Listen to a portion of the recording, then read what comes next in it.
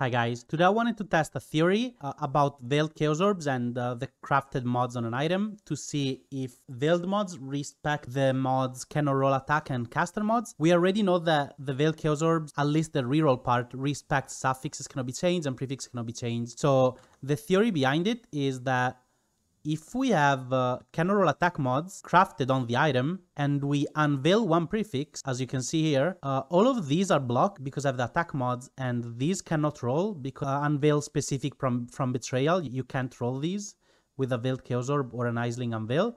So the only three mods left are gonna be Chaos Damage over time multiplier and Physical Damage over time multiplier and the Minions damage. If we test these in Craft of Exile, uh, we will get a Veil prefix and it doesn't actually work it, it still gives me attack mods. So in theory, if the Cannot Roll attack mods is respected by the Veiled mod, you only should have three different mods here, which are these three, one, two, and three. And I'm gonna test it in game. And uh, so I crafted suffix cannot be changed, Roll attack mods, and I need a veiled chaos orb. So the suffixes are uh, blocked, and I have Roll attack mods. If this work, when I unveil, I will only have damage over time multiplier for chaos, damage over time multiplier for fizz, and minion damage.